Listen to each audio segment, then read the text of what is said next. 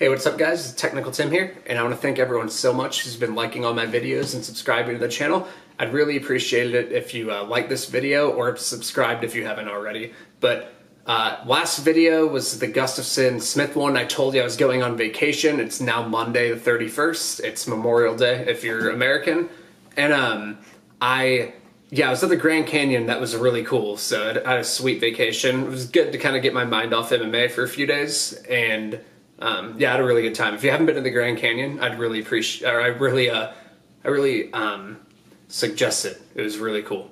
So I just want to let you know this video is. Um, I'm just giving you a little intro. This video is actually a podcast that Gugabe and I do. Uh, Gugabe is a really good capper, and we just kind of talk about the fights from a general sense. Like we might give away, we'll kind of like give away what we're feeling, but it is, we usually do this kind of early to mid-week on each card, and a lot of people have been asking for it, so we decided to put it on YouTube and just put it here. And I'll probably get it on iTunes and SoundCloud within the next week. So I just wanted to let you know, um, I'll put it on a playlist as well on on this channel. So I'll I'll just call it like podcast with Gugabe. I think we're still kind of coming up with a name. Um, but uh, I'll put it on a playlist so you have all those, and these will come out pretty much every week. So it's kind of just each fight from a general standpoint. We'll get more technical on fights that one of us have action on, or ones we agree with, or that we disagree with each other on as well. And um, so yeah, but do know sometimes it's early in the week and I haven't taped all the fights. Like there's a couple I hadn't taped going into this podcast, and sometimes I just haven't fully thought about all the fights because it tends to be earlier in the week. So my videos and my final thoughts video at the end of the week are the ones that were kind of like more official, I would say. And um, with Gugabe, I know it's kind of earlier in the week for him too, so you could buy his picks. He actually um, sells his picks as well, and he's a good player, so I recommend you buying him. But uh, yeah, so just wanted to point that out. And as far as kind of so it, this video is coming out on Monday, the 31st, or what is it, the 20th? I think I fucked up the date earlier. Sorry, guys. It's the 27th. I might have said 31st earlier, but it's the 27th, and the Sweden cards in like five days, I believe, on Saturday. So I'm going to send this video out today, and the only action I currently have on this card is Evinger and I got her a really good line early, and I tipped it early. So if you do buy my picks, do know that I have Evinger at minus 170. I just want to let you know. And I got it early in the week. The line changed big time, more than I even thought it would. So I wanted to point that out. And I have a few, and you'll hear me talk about it in this podcast as well. I have a few more eyes on, on a few different plays, but I probably won't have a ton of action on this card, but I do expect to have a few more plays. And um, yeah, so listen to this podcast and I'll send out more specific fight previews for fights as I kind of finalize my thoughts on them. And I'll send out a final thoughts video as well. So just wanted to let you know kind of what the schedule was for the rest of the week. And I hope you guys enjoy the podcast. The first half of it, the first like 25 minutes, I believe, we talk about the what the Kevin Lee card. Just a quick recap, and if you don't want to hear that, just skip up to about the 25 minute mark, and that's when we start talking about Stockholm. So I hope you all enjoyed it. Uh, comment below, and we'll. I think the sound quality is pretty good, so um, we're like working on that. But from a production standpoint, we'll we'll get it better and have it higher quality for you all. So I hope you enjoy it and expect more video previews throughout the week. I'll put this all the podcasts with Gugabe into that playlist, like I said. So enjoy. Thanks, guys. All right, welcome to WMMA all day, every day for pay. It's uh, me, Gugabe, with Technical Tim. Saram is still recovering from the cupping. As you um, would all know, the um, RDA's win has done a lot to um, embolden both his health and his spiritual, spiritual spirituality. There. So having a brief chat about RDA Lee results, and then we're on to Gustafsson versus Smith, and the um, light heavyweight mess that is that card. So, how do we feel about um, RDA versus Lee, Tim? Um, yeah, this was probably my worst, like worst pick of the year. I would say. I I originally was on RDA even when I was talking with you, and then I just went small on Lee. Um, I kind of thought RDA would settle more up against the cage and it would give kind of Lee some moments to rest, but RDA didn't really do that. And I think I just kind of miscalibrated because I was comparing it like Usman and you know, like Covington's success doing that. So I, I think I just kind of fucked up there, but RDA looked good. I mean, Yeah, I, I felt like I got it pretty much right. Seven minute pivot point. Um. Yep. Lee just doesn't have the cardio to do what Covington or Usman did. End of the day, Covington had to go to war to do it. It wasn't Yeah. like Covington just pushed him Yeah. up against the cage and he was fine. Covington had to go to fucking war, and I was like, Lee is not going to go to war. It's, it's not what Lee does. Yeah, that's pretty much where I fucked up. It was like that. I think because Usman, it's like you kind of need to just throw out Usman's on another Yeah. planet with doing what he does. But I think Covington, like Covington's fucking legit at at using that kind of pressure wrestling game plan, and and it was still close. So he and he did have to go to war, like you said. So yeah, good good call by you, misread by me. Alright, so starting at the bottom, Arce versus Erosa. I actually kind of missed this fight, so I have no strong opinions about it. I felt like Erosa was a bit more live than his um, odds portrayed, and from my understanding, it was a fairly, it was a clear fight, but it was still a fairly competitive fight, so I think plus 500 was a bit stupid. But yeah, it was it was kind of competitive early, but um, but then after that, like I mean, Arce was pretty much fucking him up towards the end. It was like it was kind of like whatever. I didn't really give a shit. still, plus 500 is a big call, in my opinion.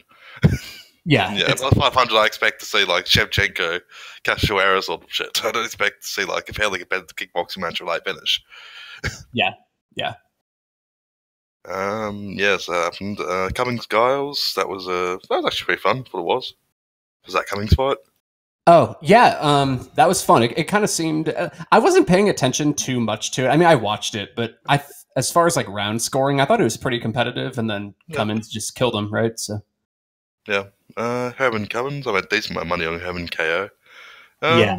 I know, it felt pretty even, then just Herman just landed that knee and Cummins was gone. I, yeah, um, Herman was definitely the value side, but I, I didn't like look at that and think like Herman would win 100 cents at the time or anything. It just looked like a kind of evenly matched slugfest till, yeah, just Cummins died. And like, yeah, obviously Herman had durability edge. yeah, it, it was. Uh, I'm I'm mad- I'm- was- I'm kind of mad I didn't play Herman. Easy to say in hindsight, but I was kind of like thinking if I was going to play it, I'd play him. Um, Yep. I think I hit small on him TKO on track, like not not much. I threw like fifty bucks on it, but he'd Yep. uh, yeah, like I mean, I think Cummins had a little bit of a, an opportunity to maybe like get on top, but Yep. Cummins' top control isn't like crazy or anything, and Herman's not a bad like defensive wrestler, and he'll go to war, and Cummins will kind of just die in those situations. So, um, yeah, good read. Yeah, um, like yeah, I, I don't think the KO was like 100 percent shot, but yeah, No. Cummins was definitely plus 200 was clearly value. Clearly, yeah. Um, Dawson Trizano. Um, I don't know, I swore on Trizano. I, I just felt like Dawson just kind of, I'm not saying it fluked him out, but just like he got gift wrap mount off a takedown, which he used to make his grappling game work. I just feel like some people are misreading into him having an elite um, submission game based on that. Yeah, I mean, I don't think if he if he would have gotten a takedown in like a traditional sense where he didn't land in him out, I don't think he has a good enough passing game from what I've seen to just like be and, and Trezano is pretty schooled on the floor and his get ups Yeah. are pretty good.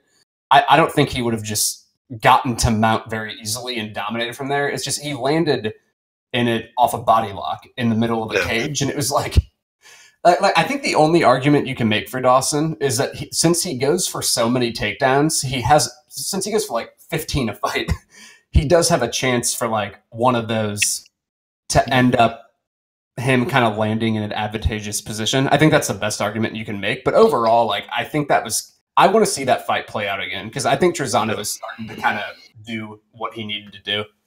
Yeah, I agree with that. Uh, Yeah. next, um, Bahia versus Roberts. I think Roberts just kind of short circuited, to be honest. he just kind of like Bahia just weird, weird shit.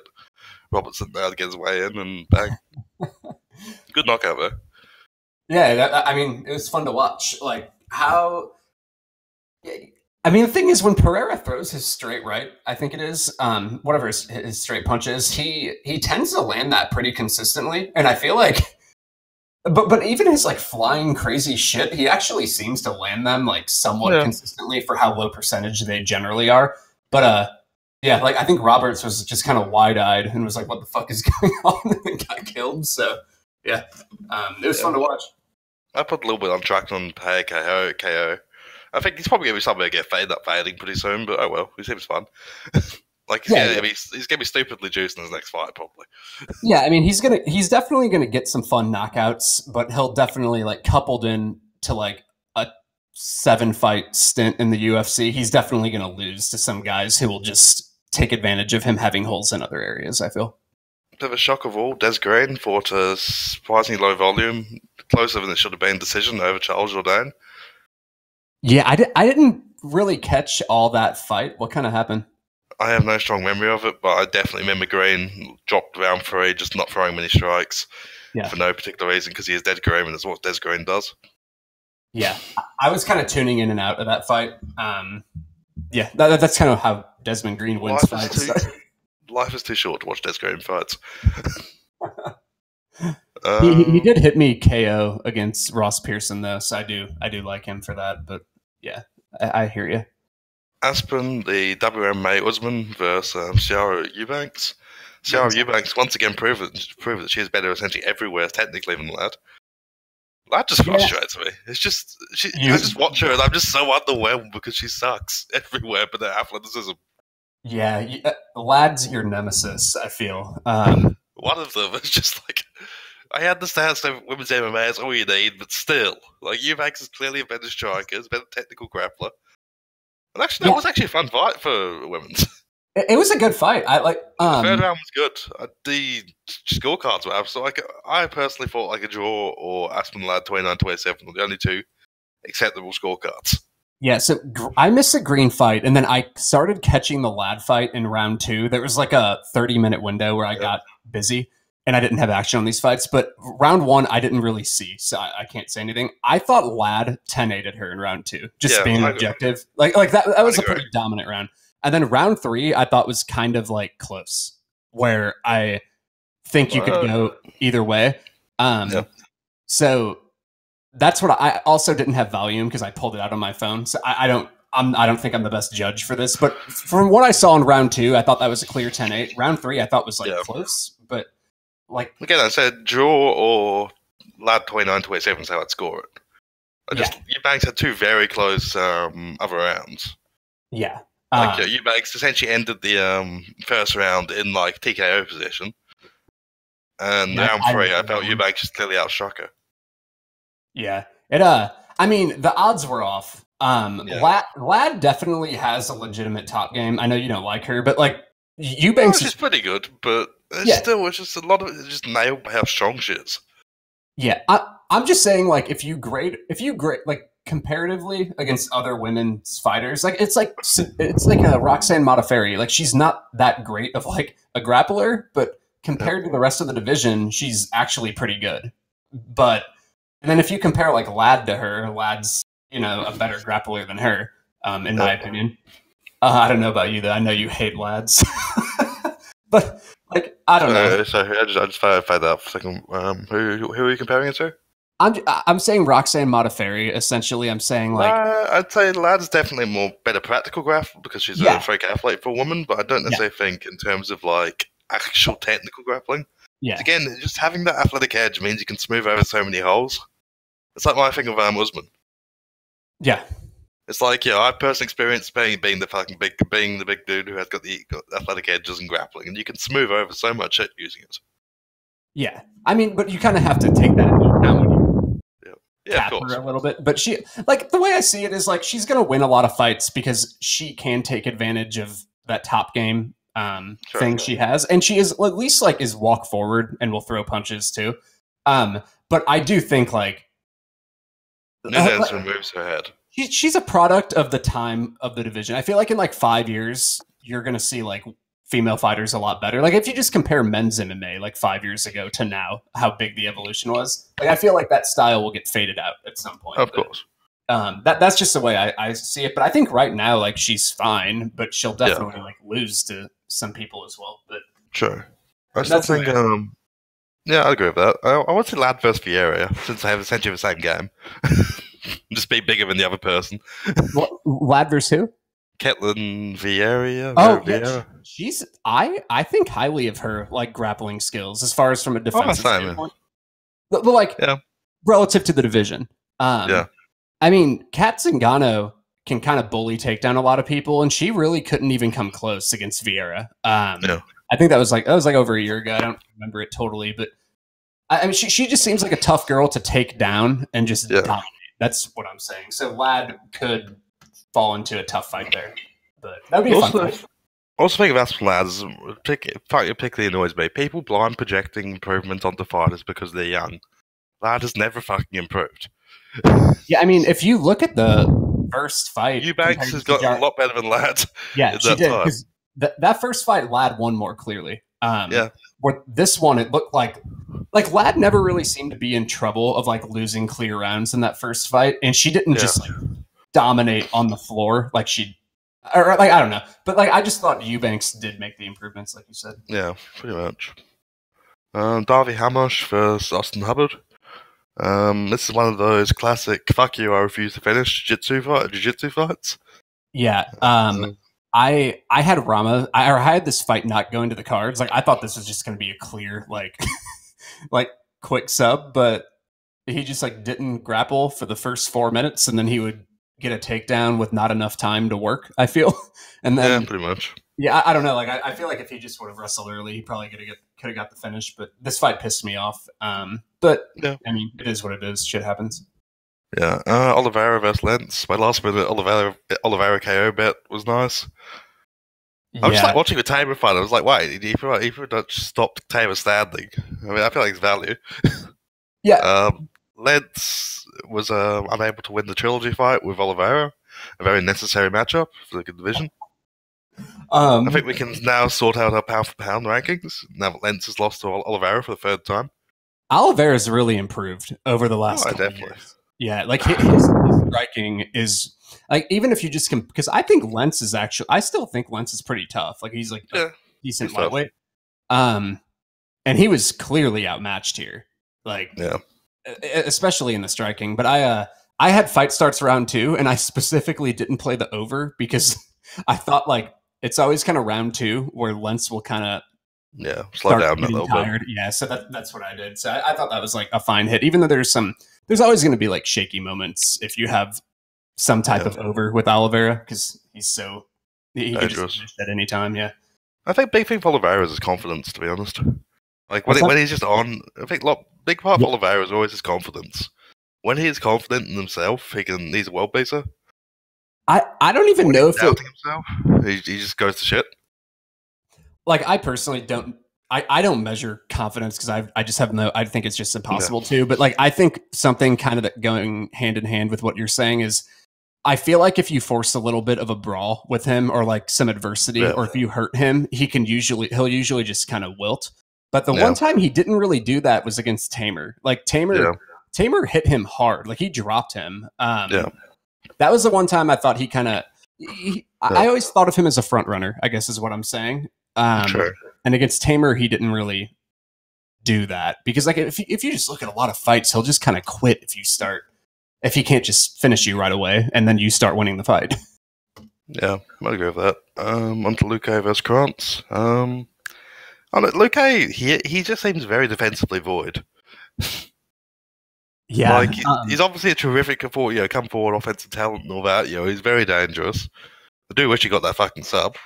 And um, but still, yeah, the fact that Krantz, who's came off the regionals and through, isn't even a good regional fighter, managed to almost like got back control and all. Got like a you get like a body lock. Maybe he definitely got back control. um, yeah. Sorry to the listeners, and sorry to you because I usually m- don't miss a fight, but this was the other one. I think I just like it. Ha- it ended too quickly. you, didn't, you, didn't, you, didn't, you didn't miss too much, honestly. It was just like um, Krantz took him out, took him down off the bat. Krantz got like good top control for three minutes, and then just Luke got up and KO'd him. Yeah. Uh, Um, yeah, and like the Luke Krantz had, had a gift wrapped stars at the end, and I was screaming and get it because I had Luke up but he refused to. That's fucked Uh. That's was why. Krantz was Krantz any any good or anything? No, yeah, just standard regional brawler Yeah. sort of dude. Yeah, and I, I haven't like yeah, he's he's not on my list of prospects to watch or anything like that. Put that Yeah. way. I mean, that's a tough fight to get thrown in on like Yeah, yeah, of course. right away. like because Luke will just march forward and kill you if you don't have like cardio ready. Yeah. All right, Felicia um, for Mega Spencer versus Megan Anderson. yeah, Uh, Megan Anderson, what the fuck? I mean, come on. Felicia Spencer, if you did tape, was not that good at jiu jitsu at any point in her career. She took like five rounds to finish just like zero zero soccer mums. And then Megan Anderson makes it look like peak fucking BJ Penn, BJ Penn and before Megan had a baby. yeah. Uh, did you have any action here? Uh, a bit on Megan Anderson KO, a bit on the ITD. ITD was So fun. you hit the ITD, yeah. um, yeah, I stayed away. I I thought about playing the ITD, but I think it got up to like minus 170 by the time I Yeah. started like really hitting it, um, or like thinking about hitting it. But it, uh, yeah, like I I still don't understand. Like I get the Megan Anderson KO play, like totally, Yeah. but I don't understand people who were playing her money line at like it got up to like minus 220, and it's just like- people were like, "Oh, Holly Holm is like." Like a legit grappler. I'm like, have you seen her against other people though? Like she can, she can clinch up against the cage, but Yep. Miesha Tate finished her and then pretty much 10 8 her the only time she got her down. And I know like Tate isn't Yeah. a terrible grappler, but she's not great. like, Yeah. Um, so yeah, I, I don't know. Like I, I thought, I, I thought the it was binary. I mean, Megan Anderson Yeah. could have very well KO'd her, but she's a really bad grappler. Uh, and I, Yeah. I don't mean that disrespectfully. It's just she's super green there. Like she Knows how to fucking grapple. yeah. I mean, I mean, yeah. She she's like doesn't know how to shrimp. She doesn't know how to f- catch a, a hook when it comes in with her hand. Like she doesn't really know how to do anything. Um, yeah, I'm fairly sure Megan Anderson's um, grappling coach is tied to Ivasa, so like um i don't know yeah i don't I, I some people just i don't know I, you, you grapple i know sometimes you get people who work really hard and Yeah. they just don't beco- become good grapplers like i don't think it's because she's not trying like her uh i think Yeah, but- james krause is a pretty well schooled coach personally yeah. It's like Melvin Guillard. Like he had ten years and he just never fucking understood grappling. yeah And same for striking. Some people just don't strike. Yeah, it- um, that's kind of more an athleticism thing. I feel. I feel like I don't know about with grappling. I don't know if it's just like Yeah. a coordination thing. Like that Yeah. certain type of athletic coordination just doesn't go hand in hand. Because I, I would, I would wrestle with people who'd wrestled for ten years and they were just not good. And um, uh, no matter Yeah. how hard they worked. So I, I don't know if it's that or if she's just not. I'm sure she's training. Like that. That gym's full of decent, scrappy grapplers like Cummins, like uh, Krause. Yep. I don't know. Um, but Uh, anyone who can, even anyone who just like has subs on their record, scared if you're betting Megan. I feel. yeah. Yeah. Um, Heinisch versus ACJ. Um, yeah, fairly predictable for what it was. I was surprised ACJ's cardio flew out the window in five minutes because like, it didn't look like he was working that hard in the first. Like, he usually has to work hard in the first round to um gas, but yeah, Heinisch just kind of just kept him going and Shoeface gassed. Yeah, I, I think Heinisch was doing a lot of things to make make ACJ not be able to just float on top. Like he was kind of pushing Yeah. down on the shoulders, using his Yeah. feet to push down, uh, push against like the quads to get back up, and then Yep. he was fighting hands. Like I, there was like a stand, a lot of standing position where, where ACJ in the first round was clasped behind Heinisch. Right, I think I remember Yeah. that. And that that can be tiring. Like if you don't do that often. So Yep. Heinisch fought smart though. Like he, he came in ready to defend. I thought um, that first round, but yeah, I, I hit Heinisch after round one at like plus three something, something shit. ridiculous. Yeah. So. Oh, see, Clark slipped the favourite. That's good. What, what's So, up? man, Devin Clark slipped, slipped to favourite. That's good. Oh wow. Yeah. That's about right. Anyway, um, yeah, so on to RDA versus Lou. Um. Yeah. Um, yeah, I think we covered this briefly at the start, yeah, but we, we- really I think we talked about it. Lou's got seven minutes of gas, and you know people really underestimate how difficult Covington defeating the RDA was. Like RDA has lost Yeah. to Ferguson, Khabib, Usman, and Covington by decision in the last like decade, in the last like five years. Those Yeah. are the four elite pressure fighters. I think has never been one of those four. It, just goes to show like RDA gets coupled in this uh, like and it's funny because I'm kind of saying this in hindsight because I played a unit on Lee, but I fucking it was just a dumb play. I, I fucking I Yeah. feel like I knew that. Like sometimes I'll I'll miss a fight and I'm like whatever. This one I just played, but RDA gets coupled into like his Kryptonite's wrestlers, Yeah. but it's literally against Khabib and Usman, who are probably the two best pressure grapplers in MMA Yeah. and then and then Covington's really good too. And if you look at yeah, like Kevin Lee out wrestles like a lot of people, and it just goes to Yep. show like he couldn't do it against RDA. So it's just RDA kind of got mixed up against a lot of elite wrestlers, not just standard wrestlers. I feel Yeah. like he can beat that game. I think. Yeah, pretty much. Um, yeah, so on to UFC Stockholm. Let's change our typology pages. yeah, Uh, alright, I do not have to have strong opinions on a lot of these fights, to be honest. me either. Um, Um, Joe, Ho- Ho- Joel Alvarez versus Danilo Belluardo. Um, st- stay away from me. It's, it's too Alvarez, yeah. Alvarez is a guard player, and Belluardo has some semblance of wrestling.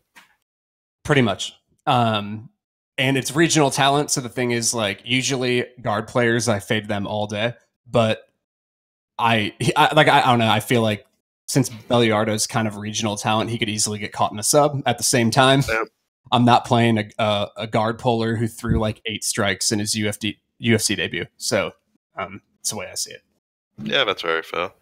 Um, Clark, Clark versus Stosic. Um, my big topic for this um, UFC event is going to be stop blind um, favoriting random light heavyweights off the regionals. And on that topic, Clark is a better athlete, is busier, probably has better better wrestling. I think has better striking. And yet, for some reason, till just now, was underdog. What Yeah. the fuck are you guys doing? Like, I, I understand that light heavyweight is very depressing. The current talent we have is just awful. and Nobody wants to see them, but they aren't. But stop making literally any warm body from outside the UFC a favorite against UFC's talent. It's stupid. yeah um I, i'm taping this a little bit so i i would have probably hit clark pretty heavy uh as a dog like you Yeah. did um I, i'm i'm taping it and i, I do think j- just from the wrestling standpoint i do think stosic is actually pretty good at defending like, like his hips are good whenever people shoot Yeah. double or something like i i don't think clark is just going to easily out wrestle him um and like but I don't know. Like at the same time, Sto- Stosic is fighting regional level talent. and He didn't really look good in his debut against Kimball at all. I thought it was just kind Yeah. of uh, random. Like like he, he wasn't even landing strikes. Yeah. Um, and I don't know. Like my wrestling, I I don't think Clark will just dominate the wrestling. I don't. I don't think Stosic really will either. Um, I think it's just going to be either Clark kind of outworking him with occasional takedowns and maybe clinching him up and kind of just out. Um, out voluming him, outworking him, or I think Yep. Stosic could just kill him at some point because Clark is kind of unreliable, and I feel like he could just run into something dumb. Um, so th- that's my that's my breakdown. I, I I need to look at it a little more. I do think Clark should have probably been the favorite, so I think people are playing him intelligently here. yeah, I'd agree. Like, I'm not. I'm not like. I don't think Clark is anything incredible, but I think Clark is a better athlete, better schooled. Stosic really disappointed me in his debut. He just did nothing. And took him, and then just randomly go guard take. You know, guard TKO is not something is, is a consistent, uh, actionable outcome in the UFC in fucking 2019. Yeah, Or, uh, pretty- uh, or maybe light heavyweight, maybe light heavyweight because light heavyweight is stupid. But Um, I'll I'll now like if the odds stay where they are, I probably won't have any action. Like I think Clark should probably be a slight favorite. Um, but yeah, that's that's the way I kind of see it. Like I'll I'll be watching it from a live perspective too. So yeah, I think I think it's okay at the moment. But like Clark plus 150 was a great price. oh yeah, plus plus one fifty was great. I, I I had I just hadn't taped in time, and um Yeah, I missed out. I got one really good line earlier or later that we'll talk about. Um, but I just kind of missed this one. So yeah, it's fair. It happens. Yep. Uh, what was next? Um, Bill Malecki versus um, Duda Santana. Um, I'm just gonna go for female Brazilian cowboy personally, just because I'm pro Brazilian cowboy. um, did you tape at all or? No, uh, I- I've just been told that um, apparently um, that's essentially female. That's Brazilian cowboy sister or some shit. So I'm gonna support Brazilian the Brazilian cowboy brand, which I think is fair enough. She pretty much just throws hands and is super green. Has fought fought no one good. Hard to measure her. Uh, Malecki, kind of the same thing. She like she doesn't really do anything. Like like Leah Letson, it was just kind of like her getting pushed up against the cage, and it was just a sloppy, unskilled fight. I think Yep. Malecki has like some type of striking background, but Yep. um, I, I don't know. I I would cap this at even because I don't see how you could really know who's going to win. Uh, yeah, I agree with that. and, and that's pretty much I- like I think there. I do think like if you just wanted to play out of like principle, you probably would hit, hit whoever was the biggest underdog early, which is kind of what people seem to do. Um, Yeah. but like I, I just don't feel like betting a fight like this. Like, I- like it- it's just too uncertain. I feel. Fair enough. You are, um, as I say, mentally weak. Um, so, so let's just move on from whatever fucked up that is. Um, Nick Hein versus Frank Camacho. I feel like Camacho just kind of get busier here. I'm expecting a fairly Yep. close decision or like a random knockout, and I think Camacho should be busier. And Camacho being dog originally was a better price. Um, I- this- th- yeah, yeah, Like it's a fairly simple fight to cap, in my opinion. Just Camacho throws about twice the strikes, and we're probably getting the decision. And Pretty Hein's not like it's not like Hein's some elite like power guy or anything. So like he's, he's got power, but he's not like you know he's not he's not deading fools. Yeah. I'm only gonna have a couple plays on this card. Like I'm passing on a lot, and I, I think I wish I would have got Camacho early because at plus 150 or plus uh, what was it? He was plus I got, 140 I got for plus like one ten. I got plus one ten personally, but it just yeah Yeah. Um, so I mean, I guess there wasn't huge opportunity. He opened at plus 140. I wouldn't have been able to get any action on that because it's limited. And then he's kind of just been around the plus 105 to minus 105 range since, um, or plus 110. Yeah. Yeah. Um, I'd I cap him like minus one fifty. Yeah, I just I just think yeah, the, the dynamic should be fairly clear. yeah, I think he should be the fa- favorite. Like I was looking at it, and um, the only thing that it, he he throws twice the strikes. He gets hit a lot, but he also fit, went against Jeff Neal and Yeah. who's legit, and uh, who is Dober, like a much more improved Dober. Like I know Hein beat Dober in 2014, but Dober's Yep. gotten a lot better, Yeah. He throws about double the strikes. He throws like six or si like six and a half strikes per minute, and he's usually around the 100 to 150 range in a three round fight, and Hein is usually around 50. So it's like. Yep. It's double. I know Camacho gets hit a lot, but Hein does too. And I, Yep. Hein doesn't strike me as a guy like you said to just throw a lot of eh, like he doesn't fight to his opponent's output. I feel like Yeah. and Camacho will throw over 100 and I just don't think Hein can do that. I, I just don't think he's used to it and I think Yeah. the wrestling will mostly cancel out. I think Camacho is a little bit better of a judo player than Hein, but like not in a way that's going to make a huge significance and he'll just be busier pretty much. So, yeah. Yeah, great. Um, yeah, just Hein just seems like a fairly low volume, just meh. And we should say, I um, yeah, I, I'm expecting a close but clear uh, Camacho decision when Camacho just throws a lot more strikes. That's Yeah, I think feeling. I think Camacho is going to take round one pretty clearly, and then I think the next two rounds will be kind of competitive, where Camacho hopefully just edges one off being busier, and he'll take like a 29, 28, 30, 27 decision. That's what I'm kind of thinking. Like H- Hein just doesn't he just doesn't throw enough, and Yeah. he won't be the aggressor. Camacho will be the one walking forward for the most part, and he'll kind of just be like get the crowd more into it, and probably get the decision that way too. You see, Faber's got a fight booked. Who? For Uriah Faber, Oh, uh, Versu. nobody knows. For people who just, I wouldn't mind seeing me against that triangle dude. Because I, I, I dislike that triangle dude. You have a triangle dude? Uh, Mexican name. Um, Oh, um, Bermudez. yeah, there we go. Yeah. I, I don't like his game, so I think that'd be interesting. I'm like, yeah, Faber's always good fun. He's a great guy. I have a Yeah. friend who trained at Team Alpha Male, and apparently it's great. I'm unfortunately I'm too big to go, but you know, oh well. There's, there's a um, if you're more than this height, you can't ride um, pop up in front of um, Team Alpha Male. So yeah, yeah, they're little guys. I feel like they're all Yeah. they're all pretty small. So, yeah, um, well, uh, Santos Ray got any strong opinions?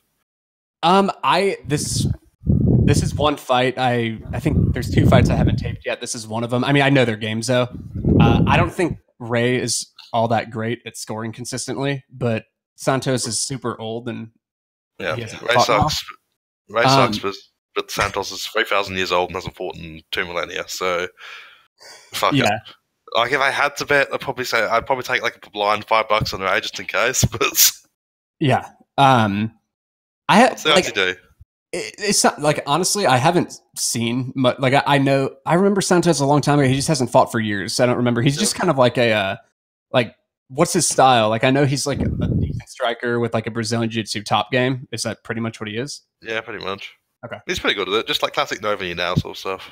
He's not That's like a great Novi and think. Alsol dude, but he's decent level. Yeah. Um, he's got like Um, legit wins on his record. It's Yeah, just Kevin Lee, Tony Martin, Escudero.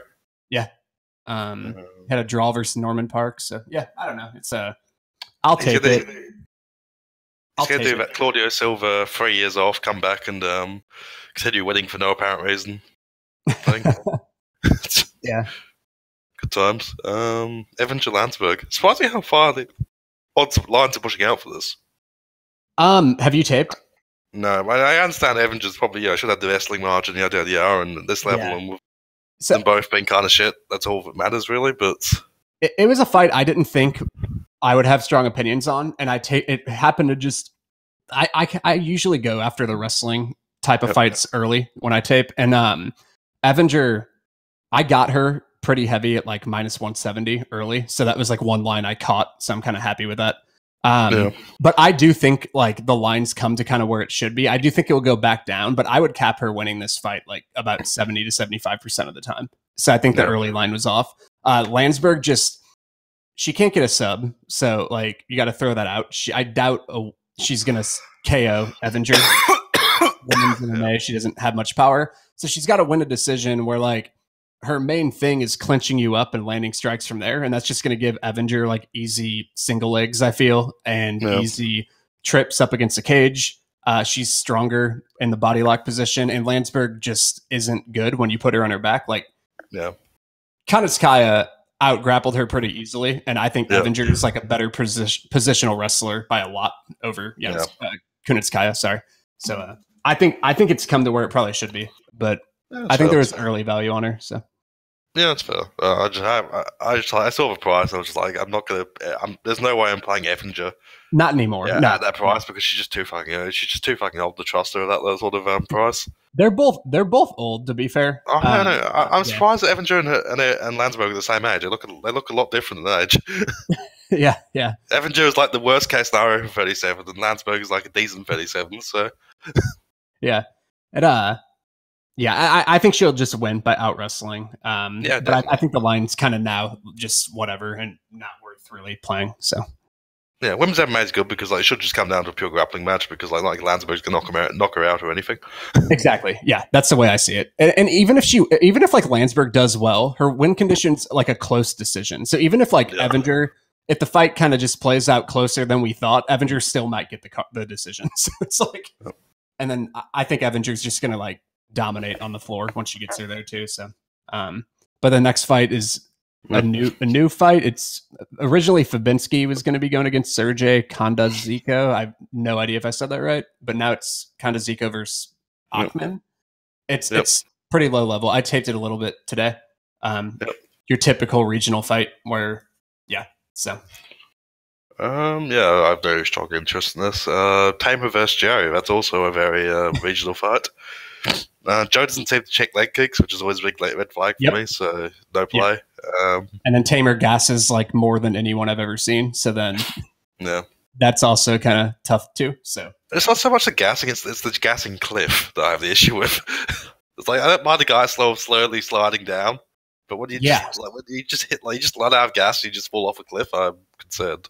it's like Mickey Gall versus Diego Sanchez, where it was like he I didn't even see signs of him slowing down, then all of a sudden he couldn't move. Um, Yeah, pretty much. yeah. I mean, the leg kick was the key thing I saw too. So I think Yeah. that was uh, good for you to point out. Like he just doesn't check them, and he got battered. And I, I feel like Teymur might have early success, but um, could be a good live betting bet, a live betting fight if Teymur's kind of just like owns round one. I wouldn't mind playing Jo because Teymur, I feel like will just kind of gas later and could even get finished later. So is what it is. Um, Hadzovic versus Giagos. Uh, I thought Giagos was a bit wide of the dog for a bit, but I don't know. It's just uh, I think people might overrate Hadzovic's gra- grappling game off that last win because like the guy he TKO just had no nothing. Polo Reyes he had nothing off his back. Yeah. Um, oh, Giagos can actually wrestle, wrestle. Like, you know, Giagos stayed safe against Oliveira and points and that sort of stuff, which is a decent showing of, of some ability to jiu-jitsu. Like, he still got Yeah. tapped, but, like, it's still, yeah, get, Oliveira didn't, like, completely just destroy him. No. Um didn't tape this one, know both guys. Like Ha- Hadzovic, like he should be the better striker here, right? And it's kind of just a matter of because Yeah. Giagos is a decent wrestler from what I remember. Yeah. I need to like brush up. Um but like I like I feel like Hadzovic should probably be favored, but I, I just haven't taped, so you probably know more than me. And I just remember Giagos had that had the fucking issue against uh, who's last dude again? It was John Japanese Hirota because he gets fucking ultra hard, but I feel like Hirota does actually make you work. Yeah. Like yeah, Hirota might not be great, but he's tough as fuck and he'll make you work. I Does- don't, I don't think Hadzovic can do that. I Like I, I'll tape it and figure out. But does Damir like have any decent defensive wrestling like at all? Not great. I, mean, it- Martin Heldman's just kind of held him down fairly easily. Alain, I think Alain, Alan Patrick kind of held him down from memory. Yeah. Patrick is pretty decent at like that type of game if he's going versus a, a, a non wrestler. Yeah. Uh, uh, so yeah, Yeah, Patrick, I- I'll Patrick hit nine takedowns on him in 15 minutes and held it and held hit four takedowns in 10 minutes. Yeah. Um, so like, yeah. And just- what's his takedown defense? His takedown the is 31%. So if Giagos is just willing to go for fucking double legs, I think he's got a decent shot. yeah. Uh, yeah. I'll keep an eye out on it. It. Uh, I, I like. I, I just haven't. I, I just don't remember all of Damir's fights. Like I remember against Polo Reyes, he kind of. I didn't he. He got like a, a sub Yeah. with like offensive grappling. I remember, and that Uh, looked. it was what fairly-? It was fairly close. No, it was a take mount TKO. But Oh, he was just kind it? of took him. He just took him down past the mount. It was just kind of like, holy shit! Yeah. You see, raises. was Defensive like- grappling sucks. The path to it was through grappling, though, right? Like the finish. yeah. Okay, that's what Yeah, he was still. He was definitely beating Rise in the feet, but like then like he took him down, and Hayes just had nothing. Yeah. like that was. It wasn't like it was like um. What you call it? Um, the Megan Anderson's fight. It was just like holy shit. It wasn't like holy shit. Hadzovic can grapple. It was like holy shit. Hayes is literally nothing. Yeah, yeah. Um, Nick Hein fight was just a slow. There was no takedown attempts. Yeah, I just kinda that. lost. Yeah. Hein just lost the volume fight. Um, Volume the fight. Held fight. Held fight was one of the great meme KOs of all time. Because um, Hadzovic hit this insane um, intercepting there, Yeah, yeah, I remember. Yeah, and Patrick just kind of wrestle fucked him. Yeah. So I definitely Um, think that I I can say definitely see how Giagos wins this fight. Yeah. Like I, I got bid on plus two hundreds because, but Patrick was about the right price. yeah, yeah. I'll take a look at it. But uh next fight, I know you have strong opinions on uh Manuwa and how Oh, is it Manuwa. Rak- Rakic or Rakic? Rakik, uh, I, mean, I don't say strong opinions. I just think Rakic minus two fifty is stupid. Yeah, I um, we've got one good. We've got one good performance from Rakic. Calm the fuck down. and this is a massive step up in uh, step up in competition. yeah, I um.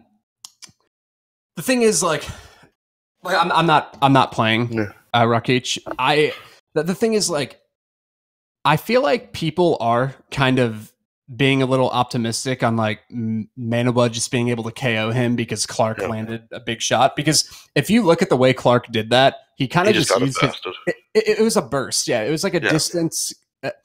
Like, like it was like a Tyron Woodley thing where like that he wrestled his whole life, so he can cl- he can cover distance quicker than anyone else because he's just used to shooting a double leg. So he can do that Yeah. same thing to land a punch. And Manuwa doesn't really do that. So it's like I don't Yeah, know. I, I thought that second knockdown definitely did show the um, vulnerability though, because the second knockdown was more of a just standard left hook. The first one was just Clark Leslie bum rushing off the off the off the um, start of the fight, which I felt I wasn't reading a huge amount into because if you bum rush somebody straight off, you got a decent shot. But like the Yeah. second one was more of a standard left hook situation.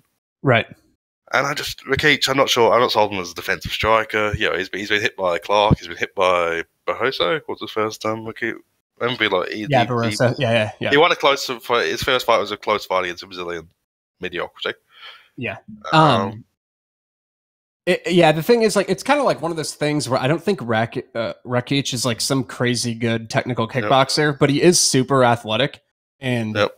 um, at least he, he can like keep a pace. And I Yep. I- I'm just worried that like if he uses his athleticism to eventually just land, which he easily could, Manuwa's Yep. chin is terrible, and he'll probably just go down. And it's like, I don't think Manuwa can really like. I- I don't know what you think. I don't think his chances of winning a decision are great here. But Oh, true. I agree. I Um, just, I just don't see how Okage is a massive favorite here. Yeah. I think there's enough doubt here. Like, yeah, and Okage is taking a massive step up. He's gone Yeah. from like, remember, light heavyweight's only got like ten semi-competent guys. Yeah. Yeah, like Um, guys like Ledet, Ledet and Barroso and Clark, and even Clark was, yeah, Clark was kicking his ass until that very um, creative back fist, yeah, which, uh, yeah, uh, that, that was an arse pull up. he, he I, but he, he was kind of getting his ass kicked by Clark because Clark was kind of just using like blitzes and pushing up versus, you know what I mean? Like it was kind of a little bit of a different style. I thought. Like I, Sure. I, I'm just I'm just saying I don't think that is something Manuwa will do. Like I think Manuwa just has to kind of like force like some exchanges and land, which he Yeah. could. I think Um, it definitely good. I, I just kept this as 50-50 to be honest. I'm Yeah. not, I'm not, I don't think Man, I don't think Mano's locked or anything. I guess what I'm saying is like I think his KO line because his money line at plus 190 and his KO line is probably going to be like in the plus 300s. I think that would be a better play. That's I guess that's what I'm saying. Plus two seven five for his RTD at the moment, so plus probably for plus three hundred for KO. Yeah, probably like plus 320 or something. So it's like or like maybe even lower. But uh yeah. That that's the way I see it. I Yeah, um that's fair. I- what that. do you think of fight doesn't go to decision as a parlay like, like minus 290? I kind of actually like. I think there's more value on a Cage decision at this point, honestly. I could see that. Yeah. Yeah, because I mean, Manuwa, he's a bit chitty, but like, I, I think people are overselling it a little bit. Like against Santos, he got dropped a bunch of times, but he also kept coming. True. And Jan, yeah, Jan heard him, but Jan didn't finish. You know, Manuwa's fairly hard to stop. He's definitely he's, he's easier to hurt, but you've got to really follow up. I'd, say. And Santos is like And- he's a guy who can like bully you in exchanges too. And I'm Uh, not gonna like really dig into the Ozdemir a knockout because it's just like. He caught him cold. And also, can we not dignify Ozdemir with with um, analysis? that, Yeah. that was just that was just that was peak me O's to me. Yeah. Anyway, Uh. um, I guess time pressure. So Amirkhani versus Fishgold. Um, I I think it's a pretty close fight. Um, I Yeah, don't I think. Yeah. I'd cap Amirkhani like minus one fifty. I feel like Fishgold gasses doesn't really have to. Amirkhani can out wrestle him, and yeah, I I, I think Amirkhani has a decent advantage pretty much everywhere but grappling. Or just Yeah. everywhere but jiu- jiu-jitsu. Like, yeah, he's, Amirkhani is a better athlete, but a better wrestler, better striker. The main issue is that Amirkhani is retarded. Fish Fishgold can be kind of more enthusiastic from a striking standpoint. I Oh, think. not, I'm, I'm not saying he's like better, but he will like actually go for it. Like he'll throw offense. Um, Yeah. I, I do think Amirkhani like Fishgold. If you watch his fight, and he, he's a Cage Warriors guy, and if you Yeah. watch versus Mark Heron Webb, like he can be held down, and Amirkhani's by far the best wrestler he's gone against. But so like that kind of worries me for Fishgold, but I like Amirkhani doesn't look great off his back either, and Fishgold's got like decent leg lacing ability um, to hold you down. So I, like I- think I think it- it's another one. I, I- missed lines this week, like I fucked up. Um, I think as the underdog was a really good play. I think now it's kind of close to where it should be, but. I wouldn't It's- mind like. I wouldn't mind live betting Amirkhani though after round one because I do think Fishgold will come out hard because he just kind of Yeah. seems to do that every. Yeah, Fishgold just had too much trouble in the grappling with Teymur for me to be like, yeah, he still has some Teymur, but yeah, Teymur was just like through pure enthusiasm, kind of reversing things. I was just like, this is kind of sloppy. Well, he he fell off from top position. Like he just got too high on like getting his back and just fell Yeah. off. And if that happens for Samir Khani, that could be like Yeah. multiple minutes of top time for Amirkhani because Amirkhani will just lay on you, like and just take the fight. To be honest, I'd actually take Jason Knight over Fishgold.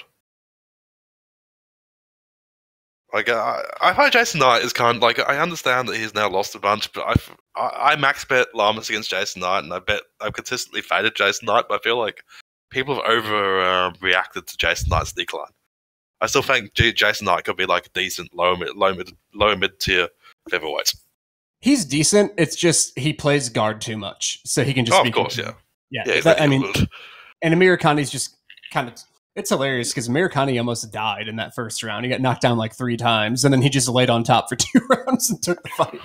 Like um, if you, if somebody could plug Belal Muhammad's brain into being Amirkhani for this fight, I'd, I'd max him. yeah, yeah. But unfortunately, he's an idiot. Yeah. Um. Well, that goes to so many fighters. If you just gave Belal Muhammad this guy's body, I think we'd be um we'd be okay. But as Amirkhani is piloting it, we can't trust that shit. Yeah, I feel you. Uh, next one, um, Latifi Ozdemir. Uh, Latifi via Latifi. Uh, I've heard people overreacting a bit to the um, Ozdemir Reyes fight. Yeah, I just uh, like Latifi. Ozdemir is not going to clinch Latifi. He's not going to take down Latifi. Latifi ever gets on top of Ozdemir, Ozdemir will quit. Because Ozdemir is a quitter. Um, and one, one, one thing I want to point over, out. Oh, go on, sir uh, yeah, they're both quite. They both got fairly shit gas tanks, but again, I felt like Latifi's gas tank lasts.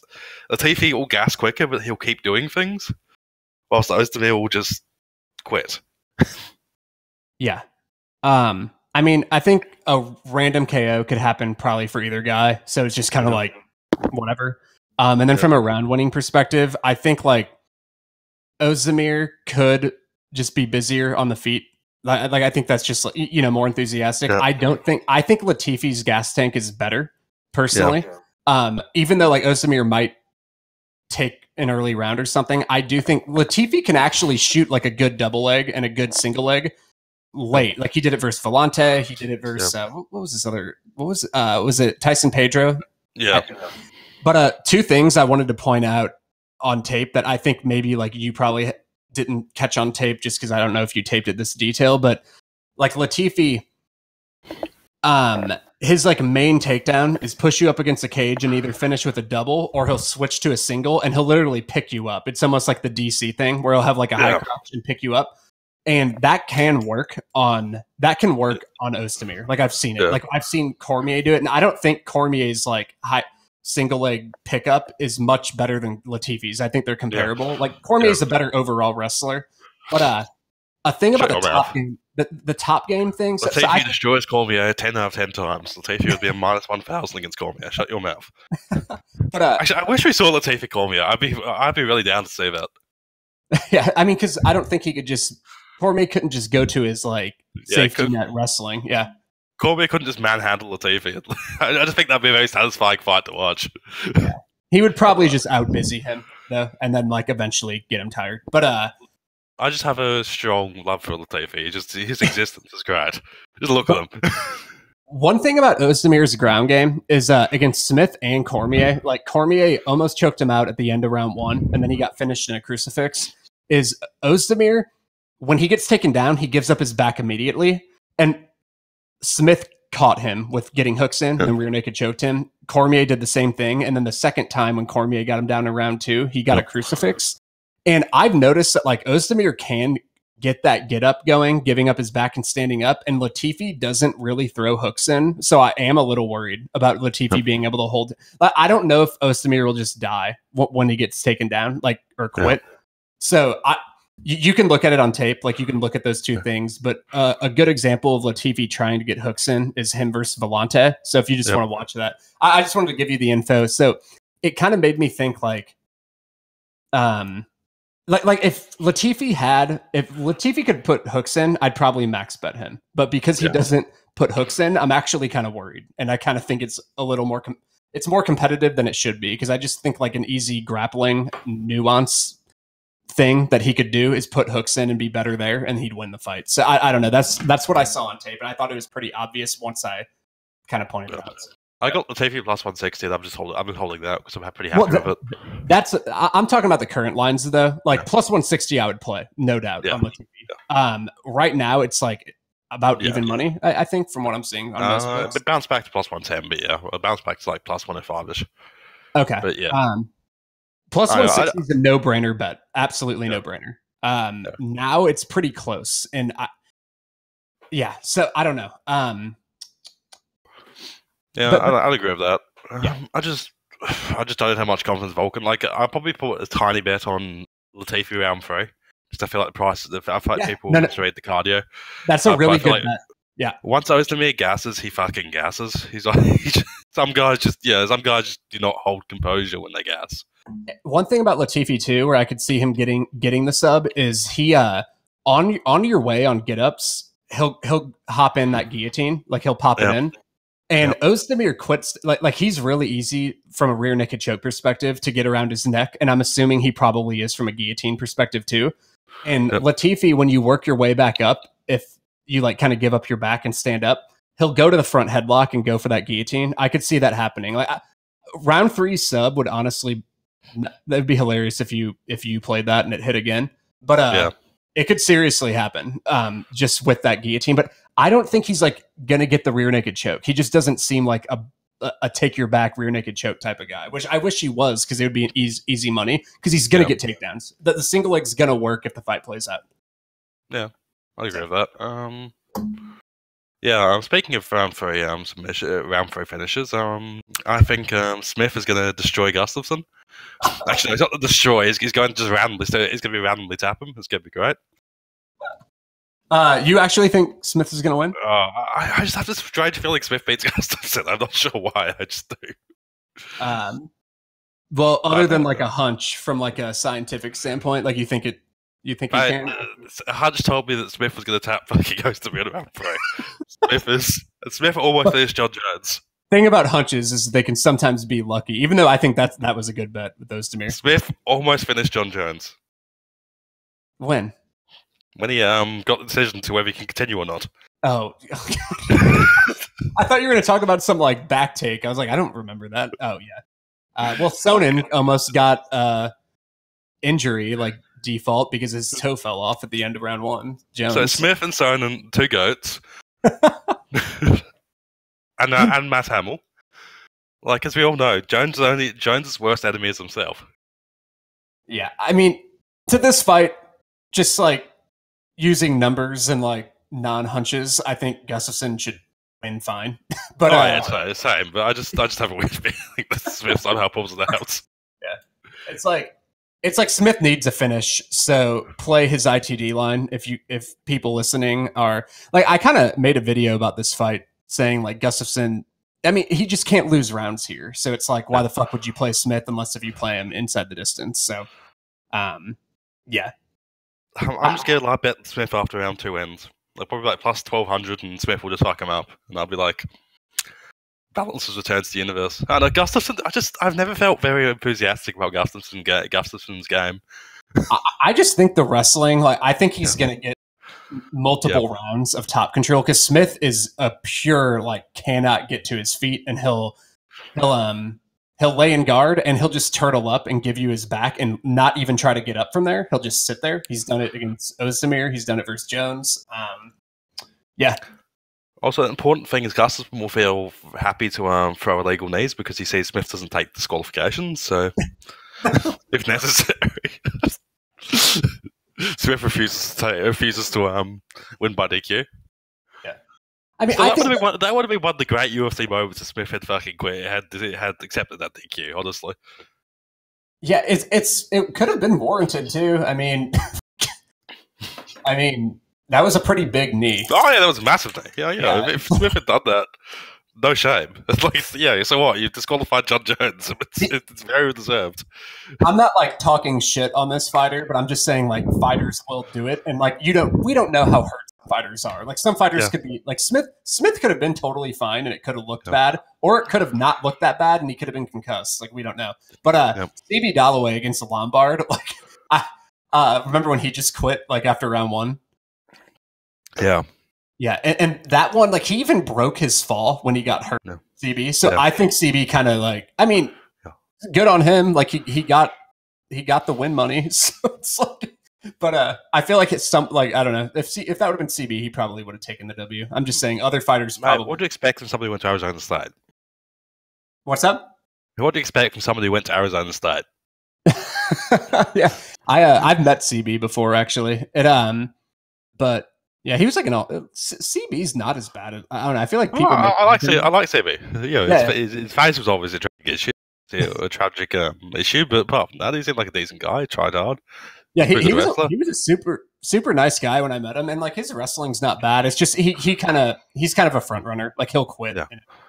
And he had chin issues. Yeah, that too. But anyway, yeah, Gus should just womp Smith, but like I just believe Smith round through. All right, so like your head says Gustafsson easy, but your hunch says Smith is gonna fuck him up. So I gotcha. Exactly. I just, I, I just, I, something about Gustafsson is very hard for me to be enthusiastic about. I just like, I, I just like Anthony Smith. He tries hard. I mean, Smith is tough, and I I could see him like I when I originally taped, I made a video pretty much Yeah. saying fucked, and then I taped a little more, and I do think Smith is better at kind of landing big shots than I had originally thought. Um, Yeah. but it's just he's at so many disadvantages at the same time. Like it's like you're Yeah. relying on a finish because he's not going to win a decision. I mean, what, what's his his his decision line? I'm like, okay, the book's got it right. Uh, it's plus thirteen hundred for Smith to win by decision, and I think that's accurate. Like I, it was Man, plus Smith doesn't, 10, need, Smith doesn't plus- need a fucking decision.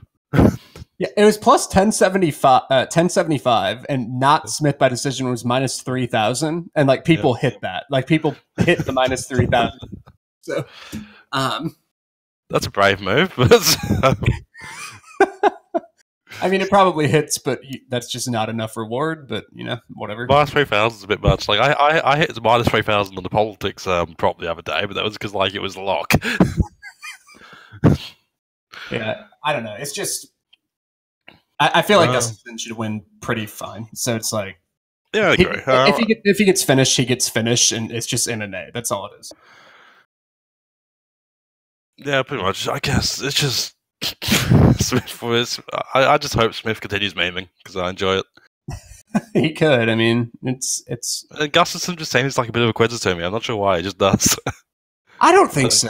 I don't think so. Like I don't. That- It's just actually, if Gus was alright in the last five years, he's had one impressive performance. Where I've been like, oh fuck, Gus looks good in Like, five if- years. if you go through his fights, so like he's been finished twice, like in like modern Gustafsson kind of, and it was Yeah. like Anthony Johnson, where he took like massive shots for like a minute longer than he should have.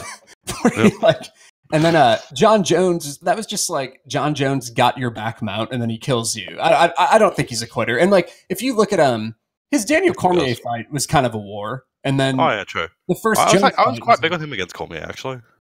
Remember he was a he was like plus two fifty, and I was like, why? That was a that was a close fight. I rewatched. Yeah, it was, one. yeah, yeah, yeah. Because I Um, mean, honestly, he could have he could have KO'd DC definitely. Like, he I dropped him. think if he, if he he just him. walked away, he would have won that fight. It's one of those ones where he kind of like woke DC up again with the ground and pound. Yeah. Um. He he also showed like like he, he can shoot those kind of just like random double legs Yeah. pretty well. Like he took DC down like three times. I mean, he couldn't hold him, but he took him down like three times, which is kind of impressive. But yeah. Um. I don't think So he's a quitter. I'll, I'll defend Gus there. I don't think he's a. The Glover fight's the last time I've really felt like impressed by um, Gus. I swear, I, I guess. I, I think versus Jan, like he he showed like good takedowns and top control. Um, Sure. Against against Manuwa, like good game plan. Like he pretty much stayed out of his range, which I think he'll kind of do here. And then, five years ago.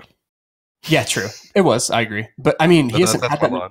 He hasn't had that many fights, and some of I know. one was Cormier and Jones, and those aren't really comparable to this matchup. Yeah. and then AJ What the killed. fuck are you talking about? Smith has gotten closer to beating Jon Jones anybody since Chael Sonnen.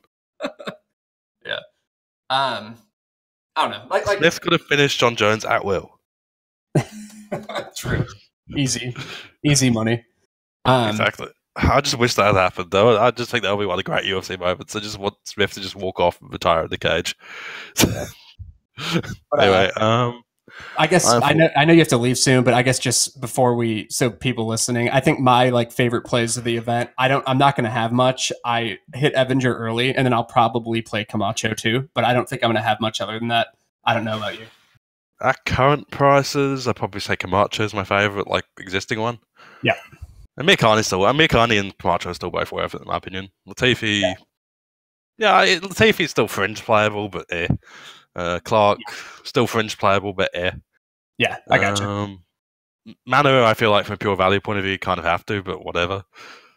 Yeah, fair enough. Um, Like, I just, I just don't see minus two fifty confidence from Rakic. I just don't see how he do that.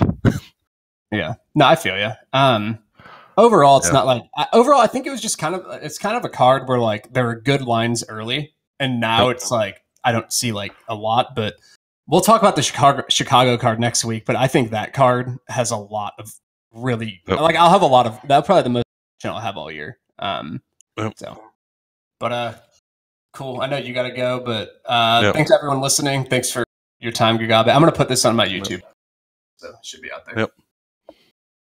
Awesome. Yep. Uh, we'll tune in next week. Uh, thanks a lot. Yep. All right. Yep. See, see you, mate. Have a good one. See ya.